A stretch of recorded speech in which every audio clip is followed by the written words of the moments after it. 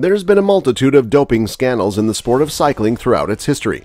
These scandals have included riders at every level of the pecking order, from the most prominent names in the sport to those just clinging to obscurity. As a consequence of this, we have observed many different responses to a positive test. Welcome back to Cycling Right Now.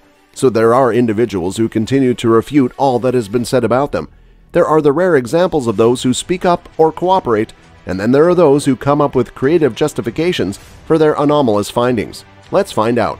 Number 1. The Festina Scandal Pulling Back the Curtain When Festina team physiotherapist Willy Voet was stopped at the Belgian border with a vehicle full of drugs shortly before the start of the Tour de France in 1998, it was the beginning of the controversy that would overshadow that year's race and cast a cloud over it. According to the French police, he was found to have 250 vials of EPO, in addition to steroids and other narcotics. Festina's team was disqualified from the Tour de France after its managers and physicians were placed under custody. Nine cyclists were arrested, and they eventually confessed to using performance-enhancing drugs. During the Tour de France, hotels belonging to other teams were searched. The TVM team withdrew, and the riders who remained staged a sit-down protest during one of the stages. At that time, Jean-Claude Killy, who was serving as the head of the organizing committee for the Tour de France at the time, stated, We are in the eye of the storm. We are sorry for what has occurred, but the Tour has had more severe storms in the past, and there will be more in the future. He was completely correct. Disgrace and ultimately death, said Marco Pantani. It'll be number two on our list.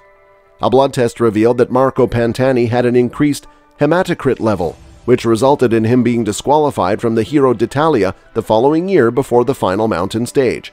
Pantani had previously won the Tour de France and the Giro d'Italia in 1998. The blood test that was performed at Madonna di Campiglio revealed that he had a hematocrit value of 52%. This was higher than the maximum limit of 50% that had been established by the UCI and is widely considered to be indicative of EPO usage. It took three years for the inquiry into his usage of illegal substances to conclude, and in 2002 he was issued an eight-month ban by the Italian Cycling Federation for his participation in the sport. The Italian eventually prevailed in his appeal against the sentence, but after that, his personal life descended into anarchy, and he spent some time in the mental ward before succumbing to an overdose of cocaine in 2004.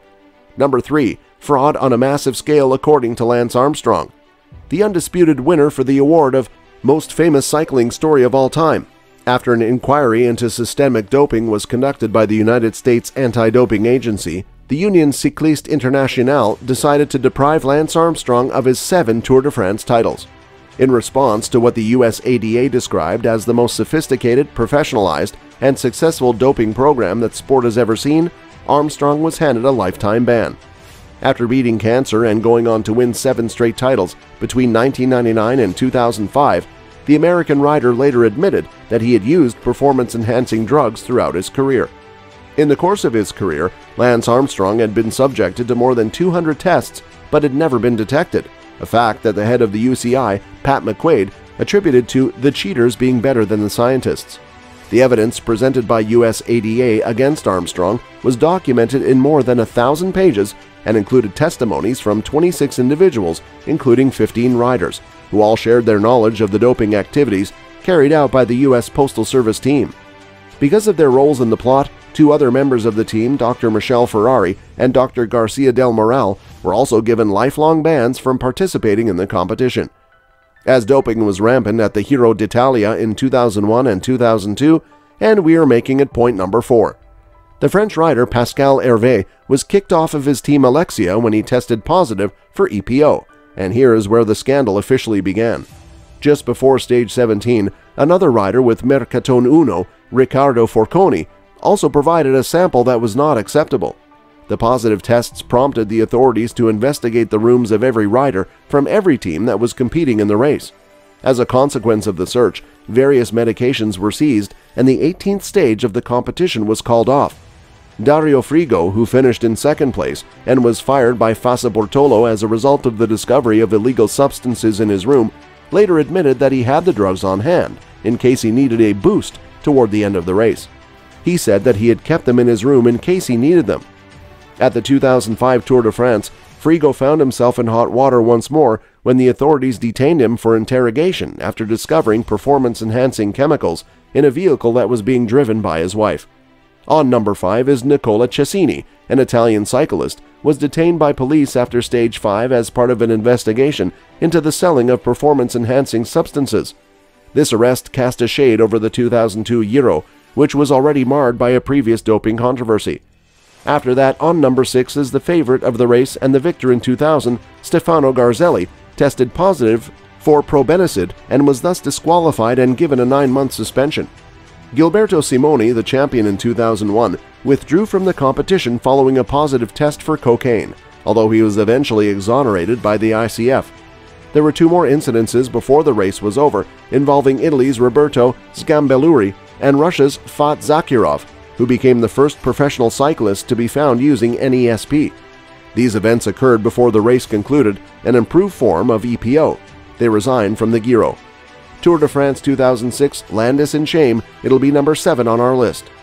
The Tour de France in 2006 was considered to be one of the dirtiest editions ever. Top riders such as Jan Ullrich, Ivan Basso, Oscar Sevilla, Joseba Beloki, and Francisco Mancebo were disqualified one day before the beginning of their race for their involvement in a blood doping scandal that would be later referred to as Operation Puerto. The scandal broke the day before the race even began. Floyd Landis of the U.S. was declared the winner of the overall competition, even though the race was wide open. A urine sample that was handed in by Landis after stage 17 and examined by the Phonak cycling team was found to have an abnormally high ratio of testosterone to epitestosterone. This news was revealed on July 27, 2006 by the Phonak cycling team. Landis was stripped of his championship, given a two-year suspension, and fired by his team after his B sample also tested positive for performance-enhancing drugs. Number 8. Alberto Contador. Steak is to blame for positive test results. A court of arbitration for sport imposed a two-year suspension on the Spaniard for doping in February 2012, and he was stripped of his 2010 Tour de France and 2011 Giro d'Italia crowns, as well as 10 additional triumphs.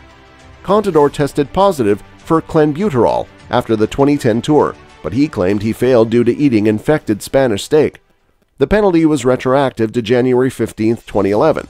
Therefore, he was free to compete in the 2013 Tour, where he finished fourth. Contador's name was also deleted from the 2006 Tour lineup after he and four other members of the Astana team were barred from competing owing to their alleged ties with the Operacion Puerto scandal. Contador and his teammates were cleared in July of the same year. U.S. Postal Service cyclist Jonathan Vaughters, now 49, acknowledged using performance-enhancing drugs in 2012. The reasoned decision against Armstrong included his affidavit. After retiring, he found the clean team culture at Garmin. The affidavit was submitted by Vaughters to US ADA in PDF format. Number 9. Stuart O'Grady He has come forward to reveal that he used EPO before the scandal-ridden 1998 Tour de France. The Festina doping scandal occurred during that year's Tour de France competition, which O'Grady won, giving him the first of his four career stage victories. Only three days after announcing his retirement after 17 Tour de France appearances, he came clean and admitted to doping. Following the investigation by the US ADA that resulted in Armstrong being given a lifetime ban, Matt White came forward and revealed that he had used performance-enhancing drugs for the majority of his professional career last October.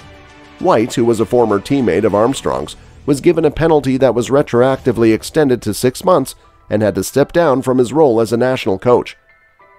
However, once the ban was lifted in April, he was able to resume his previous positions as sports director for Green Edge, which is a professional cycling team based in Australia.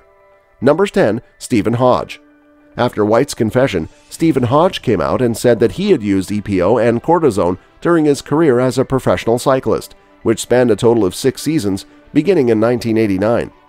After confessing to doping, Hodge stepped down from his position as vice president of Cycling Australia. He was an Olympian in 1996 and participated in the Tour de France six times. So this is it for today. We will be right back with more information like this. Please do support us, and all you have to do for that is to like the video and subscribe to our channel.